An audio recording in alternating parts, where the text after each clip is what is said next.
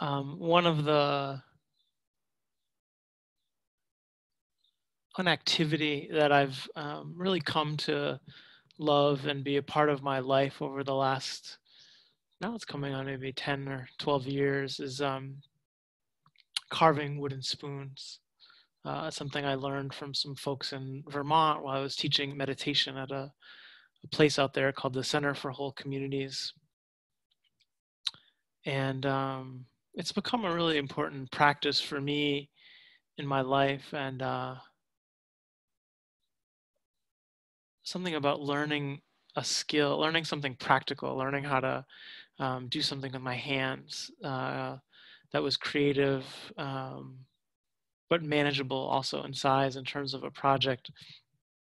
Uh, was something that's really been a like fulfilling for me in terms of the activity, but also in the the action of giving them part of the ethic of our um, not so long lineage is to to not sell any spoon you make, but really just to um, either use it or give it away. And so it's um, when I have time to actually carve and and make spoons, it's uh, become a, just a really important part of my connection with a lot of people, um, especially if they have kids, and I can make little baby spoons for little little ones and um, these beings who I don't know yet. So coming coming home um, during all this, you know, time and knowing that I was going to be home for a long time, longer than usual, without having to travel to teach. I, I sort of had this idea that I'd have all this time to carve a bunch of spoons.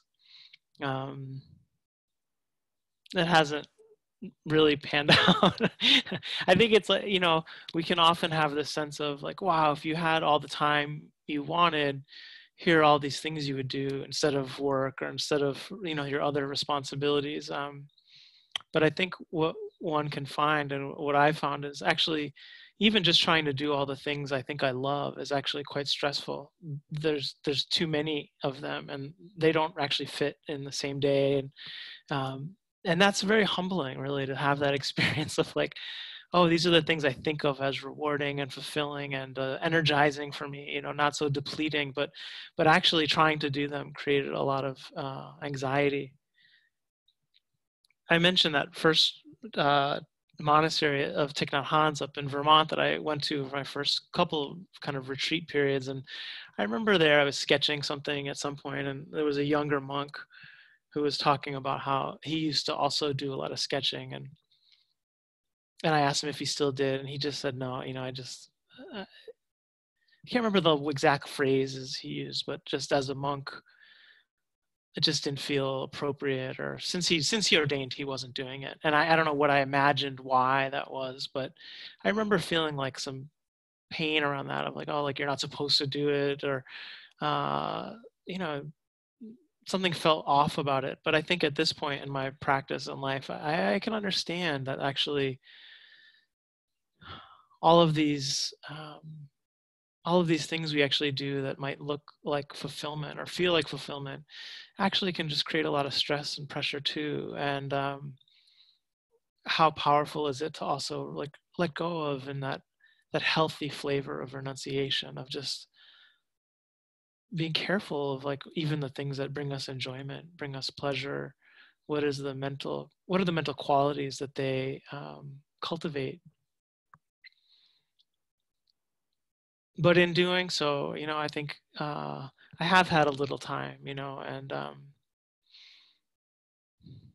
it's always amazing to me. This there's something so um, kind of polarized, dichotomous about the process that, you know, you talk about wooden spoons, and there's there's it's like there's almost an immediate from really so many different cultural backgrounds people like a warmth in the heart of like oh there's something nice about that. Uh, it's nourishing it's homemade it's about cooking and feeding and the home. And um, there's something about that that i think we all value and and long for.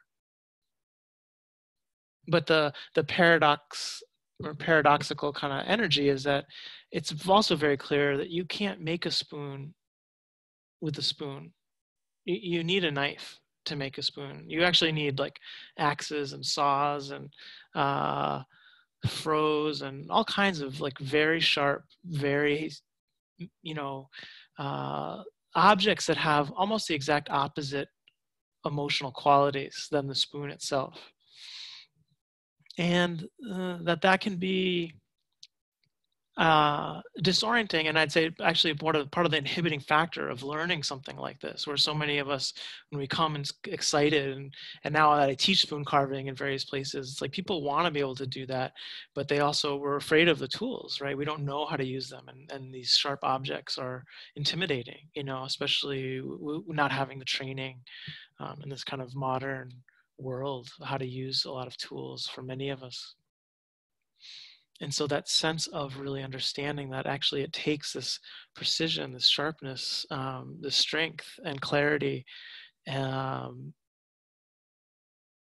and almost a destructive power to be able to create something very beautiful very nourishing um, has been an important lesson uh, for me internally and i think it it does correlate a lot to our practice you know that that we we long for minds that are like supple and open and receptive and gentle and tender and when we're asked to do a practice that has a lot of precision of of noting the rising and falling of of of, of you know more and more sort of minute sensitivity um, it can feel sort of contradictory. We, you know, we didn't we didn't come to the practice to kind of get more uptight, more harsh, more hard. Um, it's like we want the looseness, but there is this ultimately this question of like, can we actually create this heart mind? You know, can we carve this bowl of of the heart? Um, without these tools you know can you actually make this generous open receptive um, container of the mind without these precise tools. And I think that um, we have a lot of confidence in in the notion that you can't. It's not the only tools you need, right? There are also lots of qualities of gentleness and tenderness and things that we're trying to create in the process, but um, that there is a reason why we're bringing this clarity to to each moment trying to see as clearly as what's happening and as precisely and um, over and over and over and over and over again um, through you know through the material of our lives. And in that way you know there is a way really where um, i recently learned a, a fun irish proverb it's never a delay to stop and sharpen your scythe, right? Your um, the your machete or the thing you're you know you're harvesting with. And I think that's a it's such an important truth for any work that we're doing, uh, where it's like it seems like actually to stop and sharpen might just like oh it's not worth it. We'll just keep going, no matter how dull the knife the blade gets but to really understand that actually to stop and sharpen the blade um, is safer. It makes the work faster it makes it easier um, and uh, less frustrating. And that's true it's the spoons as well. It's like if if you're carving with a dull knife it's uh, it's slower it's more frustrating. You're actually developing all these unwholesome qualities in the process, right?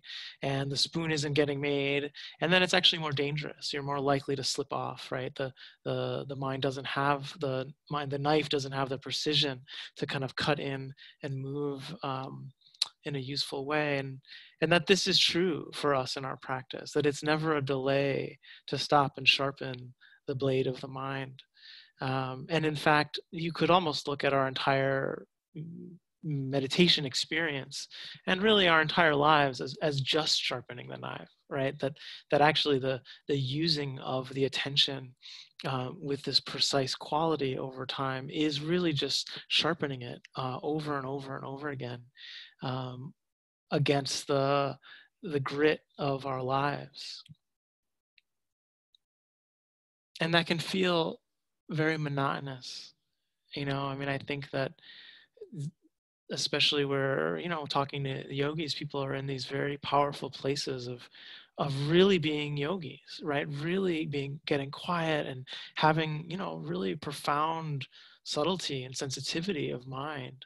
And yet it's that experience is happening with often very mundane things, right? The chores, the you know constant punctuation of our retreats through whatever maybe it's an email or the doorbell rings or someone needs our attention somewhere like this sense of like it's not just all this refined deva realm things that we're you know kind of moving against. It's like oh it's the grit it's the grit it's the grit and that that is the practice of sharpening a knife right? You start with the um, you know uh, lowest grit the most you know the most coarse uh, sharpening stones and then you move slowly to more refined and then just stopping, you know and uh, it's as steve was describing yesterday the um, the foundations of mindfulness there's the buddha really ex- kind of walks us through this very similar process of um, sharpening the attention from the sort of most um, uh, gritty, most tangible to the most to the more and more and more refined. So starting with the body, moving to Vedana, sense experience, uh, pleasure, on, pleasant, unpleasant, neutral, to the um, just the mind, and then to dhammas, which you know has different ways people hold it but often it's it's composed of these lists that that really start to, start to demonstrate how all of these phenomena are related how, how do different mind qualities lead to other mind qualities? How do certain experiences in the body lead to certain experiences in the mind? How do certain experiences in the mind lead to certain experiences in the body? In this sense of uh, body vedana mind how are they interrelating to form the sense of self and um, either the path to liberation or the path towards more confusion, more imprisonment.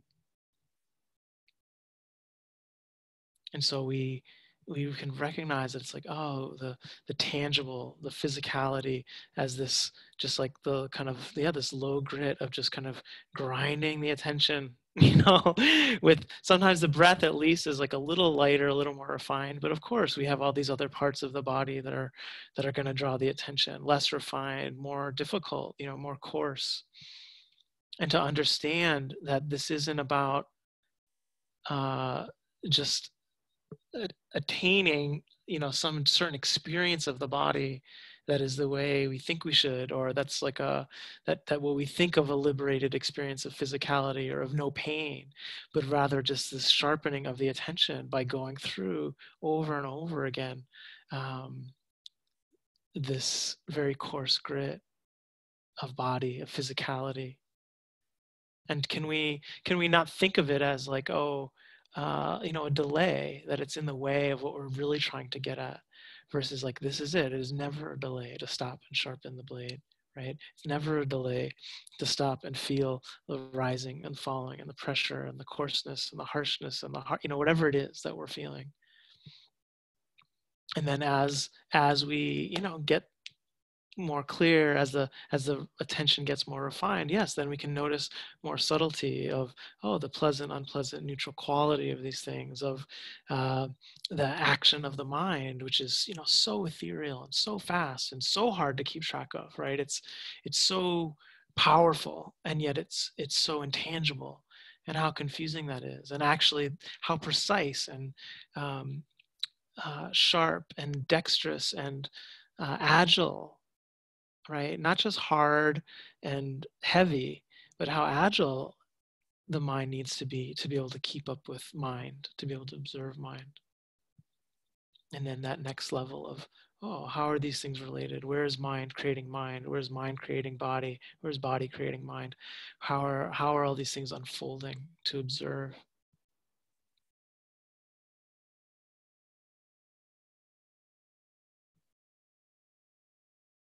There's a, um,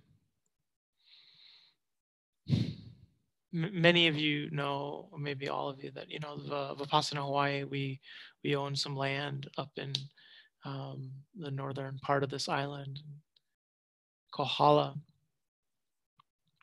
um, that we've really been stewards for for a long time. Before my uh, time with this uh, beautiful group of people,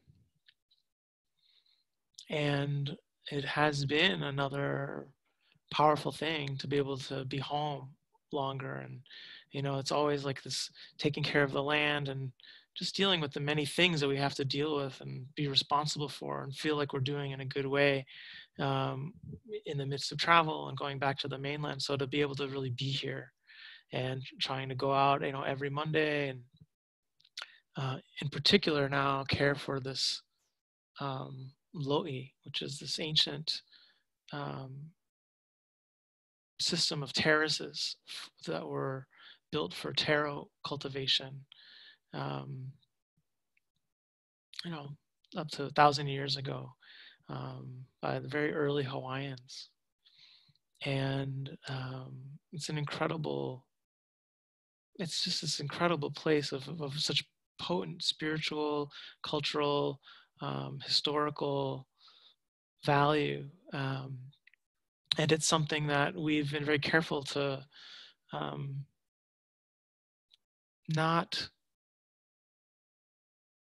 try to make any improvements on, not make any changes on in ways that didn't feel in alignment with um, our own goals, with our relationships with the community, with what feels kind of pono, uh, you know, good, right, in terms of our responsibilities as stewards of a piece of land and this this island. Um, but it this Loi is also a place that has, especially now that there aren't cows on the land, that has started to become very overgrown. Um, you know, lots of different weeds and you know the pigs are still out there, so they'll drop macadamia nut seeds, and there's a huge macadamia nut tree, and you know there's there's things that are more or less potentially destructive and things that really do need to go.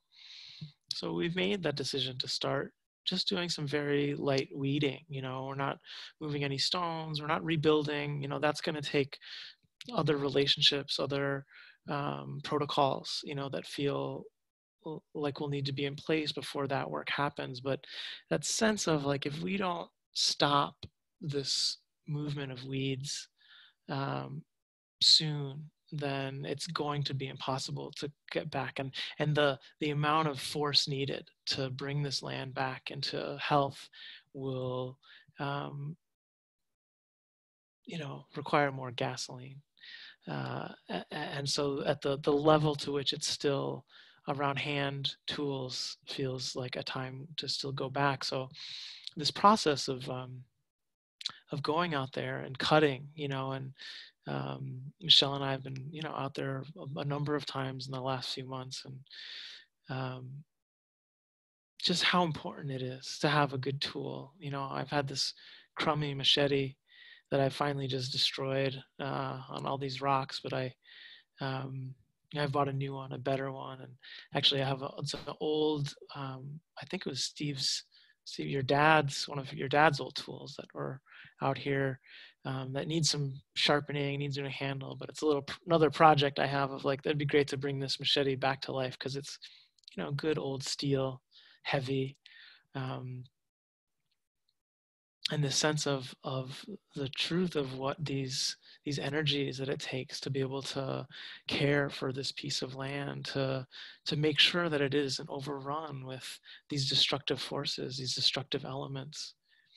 And the energy it takes you know the the the physical energy the psychic energy the determination the patience you know because we're not going out there every day and we're not overdoing it. And it's there's something very much that as we're doing it reminds me of being a yogi of just this slow dedicated time where it's like we're not measuring in terms of uh, some of the standard measurements that we might in our lives but it's like are we doing it in a good way? Are we being thoughtful? Are we being careful? Are we not trying to be so destructive but um, really just remove what needs to be removed so that the place isn't harmed so that the the life can come back in a, in a healthy way and to really know that there is this part that we we have in our own hearts that are again like this you know that that there is this cutting this this this action of um, being so careful with the forces of greed, hatred, and delusion. You know, I mean, there's a number of folks I've talked to recently of, it's like oh god these these thoughts that just come and come and come and you know they're relentless and at some point just being sick of them you know just being like okay we just gotta whoosh. it's like this sense of like it doesn't have to be out of anger it doesn't have to be out of aversion to the thoughts but of just a sense of relief of of giving the heart some room to breathe to feel what might be the emotions underneath these weeds of thought and and start to attend to what's actually underneath them in a deeper way seeing that the weeds of, of mind keep us from actually getting to this deeper level into the soil uh, of the heart of understanding these regenerative processes that are happening in the mind and body. So there is something about that you know and that it feels good to bring something back you know some sense of restoring some sense of repairing um, on whatever many levels that may end up being. And yet, how to do that also without the sense of attachment, right? Without a too much fixation on, oh, this is what the outcome is going to look like. This is what we're going to do. This is where we're going to grow. This is how it's all going to, you know, how we're going to pay for it. And here's who's going to come. And it's just like, no, we don't know the outcome of the heart. We don't know what's going to happen with this low E. It feels good to do what we're doing. We want to take care, right? Malama, this land the spirits there, our community, you know, what's what's being called for.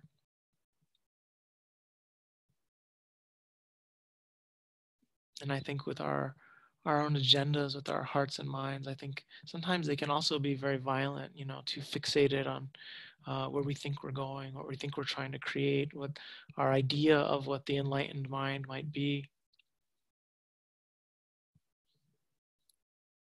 And and and not listening to the deepest truth which is that it will all get destroyed at some point. Whether you know a tsunami comes or hawaii ends up under the ocean or we all just die and you know someone else bulldozes it which happens right? It's happened plenty here more than the opposite.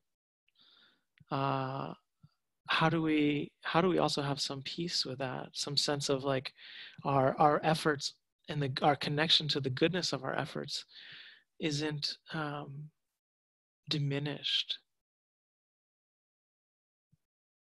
by a total acknowledgement and reckoning with our uncontrollability of the future of the outcomes. It's a very um, very difficult thing for all of us in our work and our lives we want to have some faith that the goodness of our actions will amount to something will will create good will be significant. And i think that you know well we can have that and we should. There there has to be some acknowledgement of the truth that of course actions based in goodness and in generosity and care will create more goodness and generosity and care will have good outcomes that our actions do matter and matter far beyond us, you know, and, and beyond a way we can measure. But there also has to be, I think, in this path and this practice, what can feel like the contradictory truth, which is that everything we do will amount to nothing. We, we, we it doesn't matter actually. You're, you're like there, there, there will be no monument that doesn't fall. Uh, there has to be some peace with our entire and utter lack of importance also and how how the heart can hold both of those things to be true is a lot to do with our practice um, but if it's not if we don't also accept the the, the inevitability that all things will come to an end. Uh, that it means that our actions are going to be tainted, even our generosity or our goodness. There's a little grasping. There's this, this taintedness there. That's um, that affects the action and the results of the action, but also affects our heart. And I think there's something about that humility in our own practice lives as well, not just in our work or our families or the things we want to have instilled in the future generations when we're gone that you know we can feel good about. There's also the part um, of the future that we have uh, that has no stake in us, and um, can we feel that as a relief also? Is there a place where it's the kind of surrender and acceptance of the inevitability of death, uh, the inevitability of the coming to end of things. Um, that is also a peace, that is a relief, not just a stress or not just uh, a kind of harsh renunciation.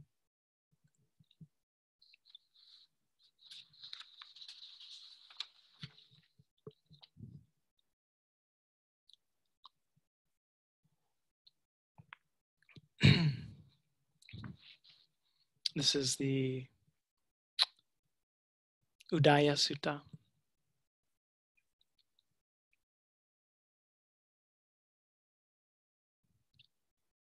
In Savatthi, the Blessed One, putting on his robes in the morning and taking a bowl and robes, approached the Brahmin Udaya's house.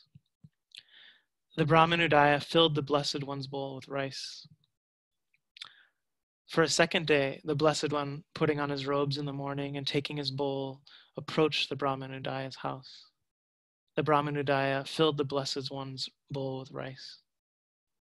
For a third day, the Blessed One, putting on robes in the morning and taking a bowl and robes, approached the Brahman Udaya's house. The Brahman Udaya filled the Blessed One's bowl with rice and said, It's annoying. This recluse Gotama comes again and again. and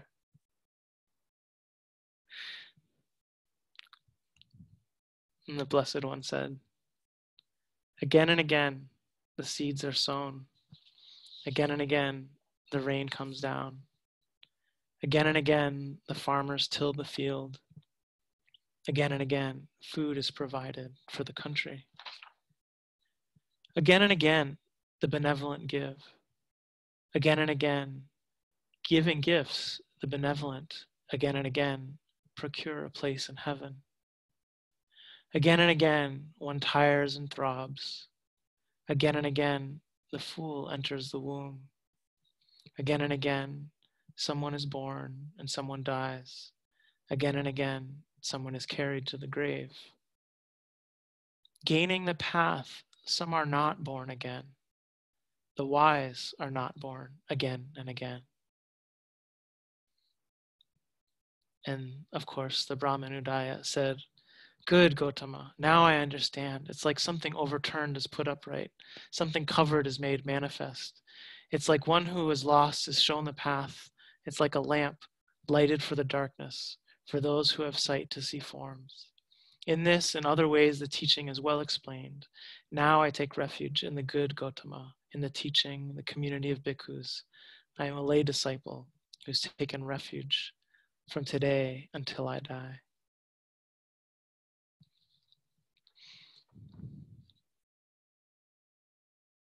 I think there's something um, so important in this acknowledgement of the relentlessness of our experience even our good experience you know even our generosity and you know the sense of like yes again and again the benevolent give and again and again the farmers till the soil again and again they produce food for the land you know again and again these benevolent people you know they get their place in heaven and right? He's like but that's not there's still something exhausting about that you know there's still it's still just this like relentlessness that's going uh this sense of um the relentlessness isn't just because of greed right or uh hatred. It's it's like actually we can be doing all of these good things but we have to actually get weary of the uh, process. There has to be some sense of um, disenchantment with what we're gaining right it's like oh we're clearing the fields we're clearing the mind we're weeding we're doing all these things but there is a place where these metaphors um, fail right? Where there is some sense of like, where do we also acknowledge the energy and the effort and the striving it takes to keep producing ourselves, to keep reproducing ourselves, to keep reproducing the world uh, internally and externally? And where is there any place of this relief? Of like and it's through, through the acknowledgement of the relentlessness of it of the constant coming to birth and dying uh, whether it's through lifetimes in the sort of more mystical sense or just in this momentary way you know i think as yogis I, every, almost every person you know i've spoken with them the last few days there there is this amazing way in which i think being on retreat at home, it's this inundation of responsibility is something we're we're very aware of, very sensitive to. It's like, oh, okay, another gotta cook breakfast again, gotta clean up for breakfast again. Oh, there's another doorbell ringing. Oh, there's another person I have to deal with. And it's like there's always a sense of like, well, once this thing is over, and then I'll get to where I'm going, and then I'll get to where I'm going. But it's like you see that there's this like leaning into the future right? We're sort of anchoring our happiness into some future moment and trying to kind of cleave ourselves there, right? Or we've tethered ourselves to the past, right? To some a past moment. And that we live in this sort of strain between the present and the past. It's it's a lot of what the self is, is this tension, this experience of tension between striving forward and clawing backwards. And the relentlessness of the responsibility to keep showing up, to keep showing up. And it's not just the hardness, you know, people again are coming to it's like, it's not just and the Buddha spoke of the, kinds of dukkha. You know, there's the dukkha dukkha, the, the, when unpleasant experiences were joined with. You know, something unpleasant happens in the body and the mind and the world and our heart, our sense experiences. It's the joining with that which is unpleasant or the being separated from that which is pleasant, anicca dukkha. That which we love, that which we care for is, is you know, dies or dissipates. And then there's the sankhara dukkha, just the suffering of just the relentlessness. It's like, oh my God, every moment, pleasant, unpleasant, neutral, every moment, loba doha mosa, right? Every moment, just like me, me, me, this, this, this, that, that, that, something to tend to, something to deal with, something to, you know, it's like the relentlessness of life again and again, again and again, again and again. And what is you know what is our response what is our relationship where do we use these tools to to watch it closely and see where do we take responsibility for our part in the reproduction, our part in coming back into being each moment, to re-selfing ourselves to what is called in the tradition becoming, bhava. Right? This very subtle way, uh, kind of like a little, you know, related to what Steve Sayadaw was telling Steve, uh, he mentioned in his talk around like where are you just sort of like leaning into something, inclining towards something, where are you kind of moving away? It's this sense of these very subtle force in the mind during our practice, which is just like often it's just a little bit leaning in. It's like the next moment is where we're going to get it. The next moment is where we're going to get it. We're almost there. There's something right around the bend. And it's this like, it's like that, that the impulse of the mind, that is what creates this process of becoming, of asserting the self into the future. And it's of course, it's also this response to just the insecurity of the constant flow of experience, the instability, the relentlessness of that. Uh, but there are these moments where the mind is strong enough, and and everyone has these moments here. You know, this these moments where it's like, okay, I actually don't. I can sit in this. I can sit under this waterfall, and for even just a few seconds, just be with it. Be with the inundation feel the intensity of the wanting or the not wanting and pull back that projection. Not is the it's not about the object the wanting of the object the hating of the object. It's like can we just feel the wanting? Can we feel the hatred? Can we feel the confusion right? The overwhelm without uh, grasping or rejecting you know there are these moments where we can bear it but it takes a lot of faith. It takes a lot of concentration and mindfulness all these beautiful qualities that we're cultivating to simply be in the stream of experience without reconjuring ourselves into the next. And then of course you know part of that dhammas of, of watching the fourth foundation of mindfulness is trying to understand wow why what is the impulse of the mind to always be leaning into the future you know to always be grasping to always be reaching for something some future state of satisfaction right and where do we have the courage and the peace and the acceptance of feeling like, oh, we may never be satisfied, of the truth of that, that there actually is no satisfaction of sense experience. There are moments of pleasure that can be a relief, definitely, and we'll encourage folks to, you know, this isn't just meant to be ascetic practice where you're not allowing yourself any pleasure and you're just, you know, super strict about anything. It's like that isn't this way it is the middle way you know this understanding that there are there are places for neutral for the buoyancy of mind that some uh, wholesome pleasure can bring so that we feel like we can face it you know it's the role in a large part also of the brahma viharas of loving kindness of compassion of appreciative joy of equanimity. It's like that grinding grinding grinding of sharpening. You know all all all sharpening you need some kind of lubricant right? The the the steel will get too hot. It will start to um, you know it won't sharpen well it'll ruin the blade if you don't have oil or water or something that that makes that smoother that doesn't feel like it's creating just heat by that process.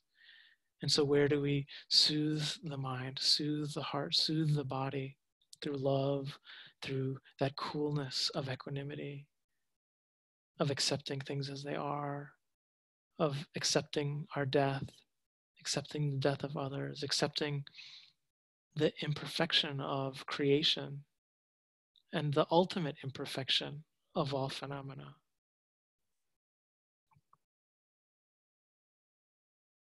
Where do we really understand that these the practices of love and wisdom are entirely integrated that we can't really do one without the other we can't have that acceptance in a true way uh, that's still connected without the love right without the true honest caring for all of life and all of creation but at the same time that caring doesn't mean we see the limits of caring to control right the care doesn't mean we can make things how we want them to be and we accept uh, that all things are dependent upon the conditions which cause them to arise. And when those conditions change, they will pass away, they will change. It is this uh, practice of being born and dying every moment, you know, and it's hard to fathom and hard to take that intensely and that seriously all the time. But it is really what this practice is.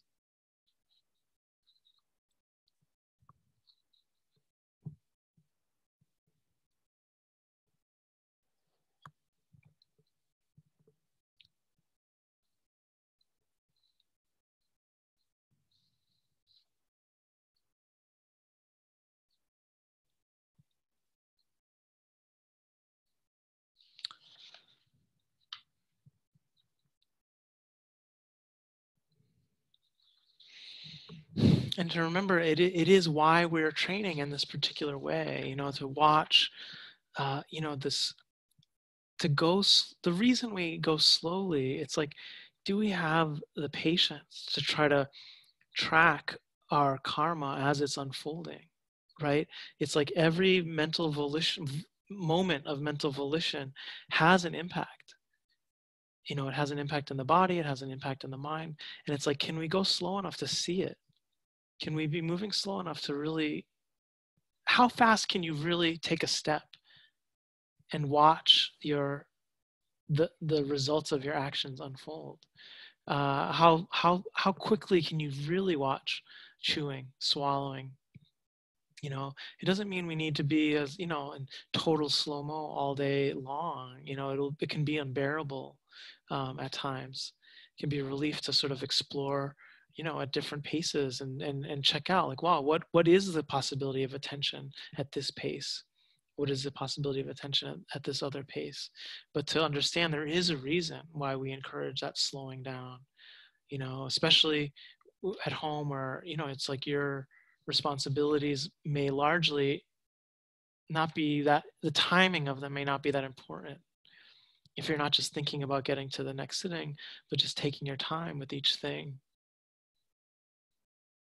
you know it's it's humbling to see really how how slowly we really need to move in order to be able to actually watch the impact of our mind on the body the impact of the body and the mind on the world around us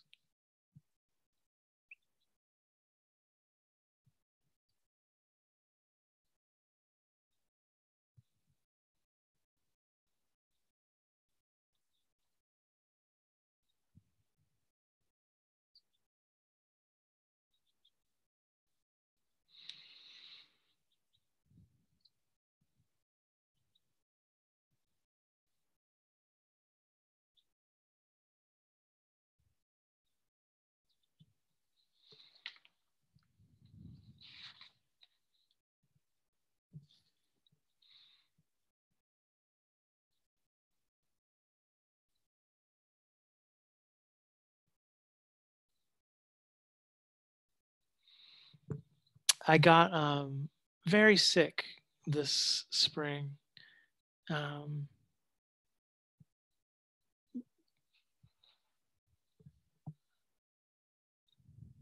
it wasn't like a normal kind of sickness. Um, but there were times where I really was very clear that it was the, the most ill I had ever been, and um, was the kind of thing where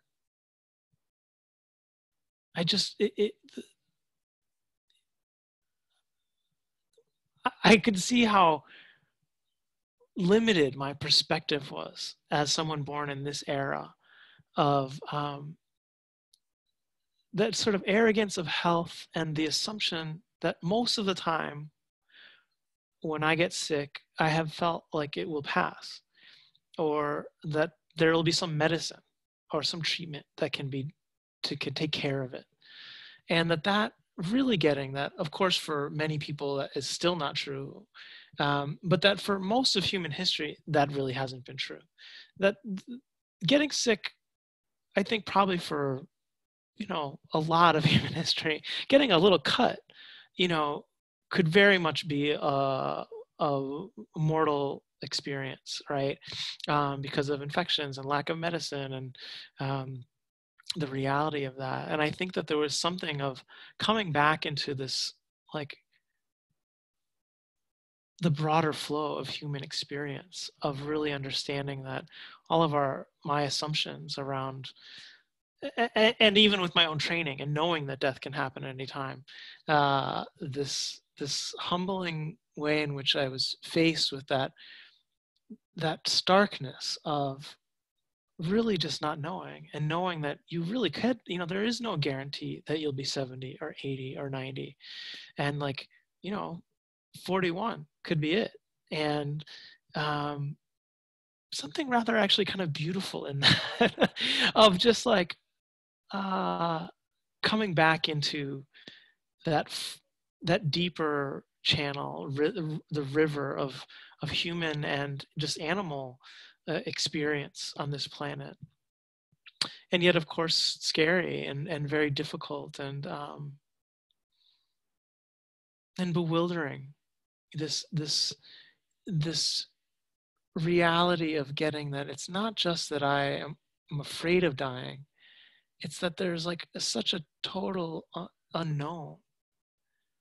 You know that i feel like i can watch the rising and falling of the breath or i can watch you know, when the concentration is good and the conditions are there, the arising and passing of a thought. But the idea of like a whole life ending and and not with that same sense of assumptive guarantee that I've had with my breath or with the thought that there will be a next one, right?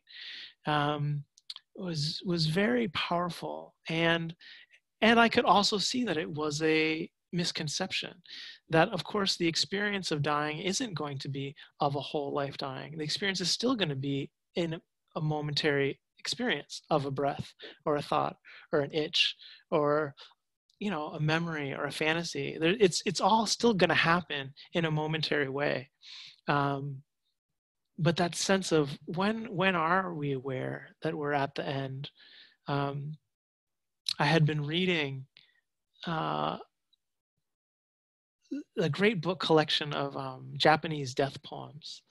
Uh, that was um, really wonderful and mind-boggling because um, I was always I've been curious about that of like you have the sense that sometimes people really know they're going to die, whether they're ill or whether they're well, and just sort of very curious about that quality of mind um, and aware that I this spring I did not get there, but I had more sense of like oh okay you could I could I can imagine that now in a way that I couldn't have even six months ago of of that sense of like oh this this isn't going to get better. Um, and it's a long tradition in japan uh, from you know um, not just buddhist but shinto and beyond you know like of of these um, compositions when someone is dying. And there's a whole spectrum of them that are quite powerful and beautiful.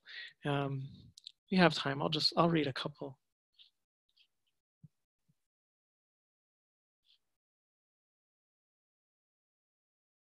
It lights up as lightly as it fades. A firefly.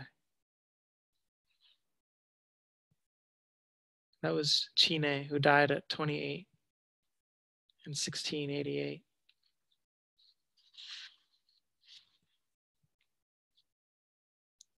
This is uh, Chogo in 1806. It was 45. I long for people then again, I loathe them. End of autumn.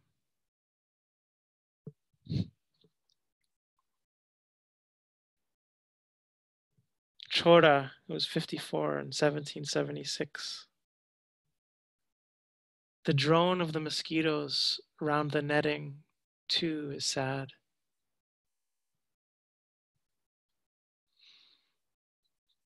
I, I was surprised to just see the honesty of some of these. You know, they weren't all just like enlightenment poems of of showing how at peace they were with their final moments of really being honest about the sadness uh, or the bitterness, you know, and that sense of like, oh, I long for people and then I loathe them.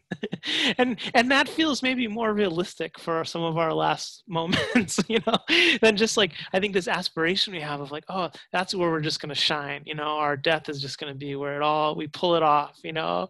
And it's like, I don't know, I'm not sure that's the best expectation from just just the sense even for myself this spring of like, God, you know, probably we're going to be like really sick and exhausted. And it might be very hard to have any precision with the mind, you know? And what does that mean? What do we, how do we, how do we, um, how do we hold our responsibility of mindfulness in a different way when there's no energy when there's so much physical pain you know do we also take on the lessons of like well actually what have we trained ourselves in you know are we forcing ourselves are we maybe trying to show up for it, but also giving ourselves the relief. Where's the compassion and the tenderness for ourselves in those moments as well?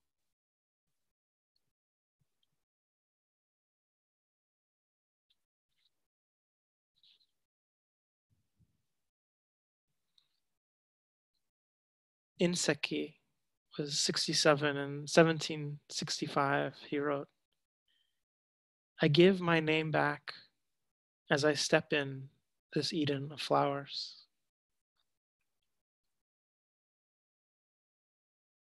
Isho, from deep in my heart, how beautiful the snow clouds in the west. Issa was a very famous poet at 65 in 1827 wrote, From one basin to another, stuff and nonsense.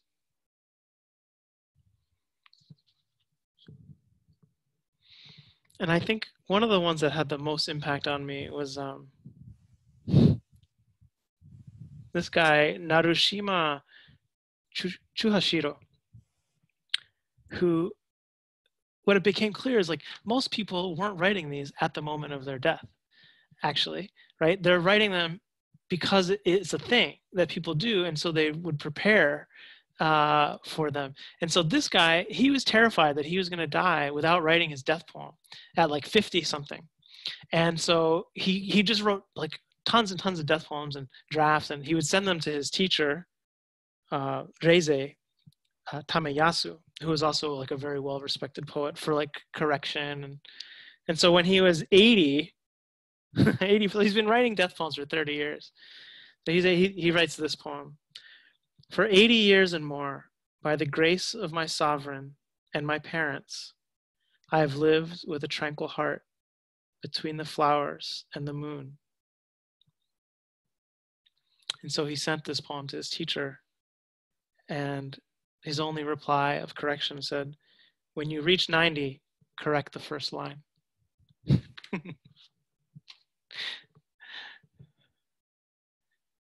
and so I think there is something really to that of like, how much do we think about maybe our death or the future? You know, it's like whether it's our positive future or the end of our lives how much energy do we expend kind of like fantasizing and projecting our hopes and fears onto these last moments or last weeks or last months and where do we honestly take that training of really seeing that it's like it there there really is no guarantee in every moment right with the rising and falling of the breath and to really are we really willing to be that scared by watching the breath to show the fear of that, the, the total insecurity, the instability, that, that no matter how high the breath rises, it will amount to nothing. It's going to fall again. It's going to disappear. How long those gaps in between the breath last can be very frightening as a yogi, right? There's these moments where it's like, it goes. And then there's like there's this space you know and it's very common to like have this contraction of the heart of like oh we something's wrong and, and the mind the mind pulls sort of stuff together because it's like how long can that space last before the sense of non-being is terrifying right? Are we scared of it? And it's like it's okay that's where the compassion comes in. Feeling that sense of of course of course we're compelled to reassert ourselves to project ourselves into the future to to regather the energy to insist upon the next rising um, and to follow that that that path but to really know that you know you're you're all in this place now where there's enough strength of mind there's enough continuity of practice where you can get to that level of honesty with each moment of experience, right? Where it's not just, you know, sort of rote and mundane, where it's like you can let go a little bit of the assumptions around the future, start to be sensitive to the ways in which, oh, there is still this like, it's still leaning in to the future. There's still this generation of myself becoming uh, that's happening. Can we be interested in it? Where do we feel relaxed enough to not need to become again? What kind of flavor of freedom is that? What a different quality of happiness that might be. Hold ourselves in our hearts, you know, capable uh, of that kind of sensitivity and honor that longing. Honor the place where we're attached to becoming and we're also exhausted by it we don't need to just live our lives as if one is the true or the other but this sense of like actually the only way we get to truly love and truly love our lives and those in our lives is when we also are disenchanted right by the expectation that we're clinging to of what's next of what's happening next of what's what's gonna come of us and that this is a a powerful dance of how they support each other and also unbind one another um, from their shadows.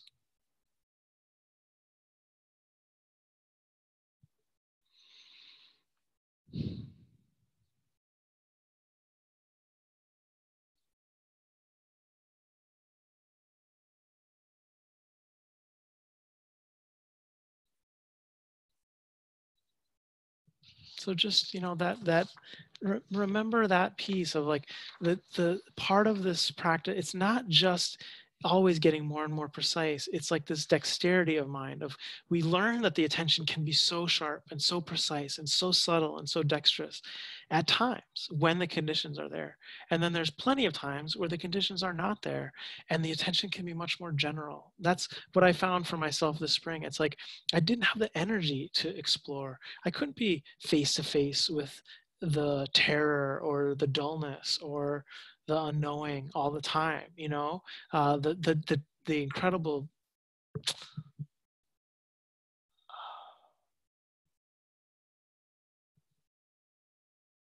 the vulnerability of having your body not working and the not being able to breathe.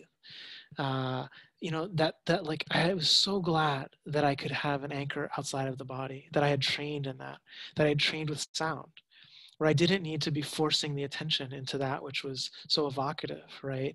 Uh, and that I had, it's like, oh, loving kindness, mm, all of these things felt too intense, too generative, but it was actually the equanimity practice that I felt like, oh, I could settle into. It's like, okay, I'm the owner of my actions. You know, if this is the, if this is, this is what has come of a long, long, mysterious line of action. This is where it's, this is where it's led can I accept that? Yes, you know, there was a relief in that to feel like maybe you can't always watch the precise subtle sensations of each moment of pressure and tension and tingling and you know in the body but you can know there is a body you know that's very clear in the satipatthana sutta the buddha says or just knowing there is a body is like good enough and not just good enough but good practice. That like we're learning to narrow the attention open the attention move it here move it there make it warmer make it cooler all with the training that ultimately we have this total flexibility this dexterity of the tool that can naturally will attend to whatever experience arises because that's the training. We've trained enough in this vast range of joy and sorrow experience in the body and mind that these are the intuitive natural responses that happens liberated unattached kind clear patient tender. So let's just sit for a few moments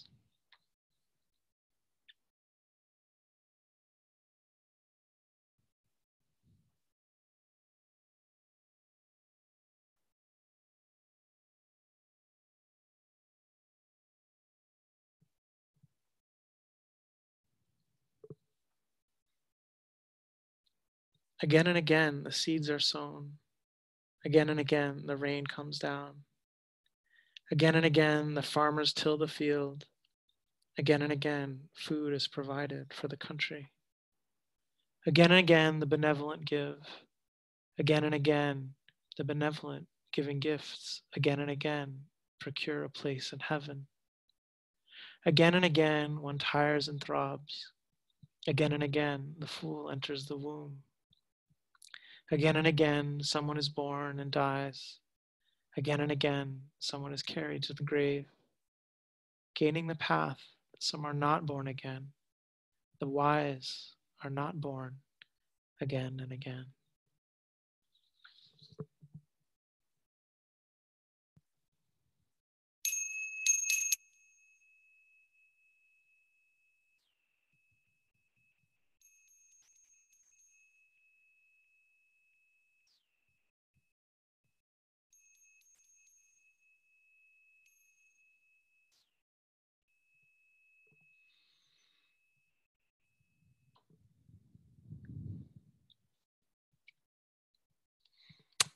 Have a good period of uh, walking or chores or whatever.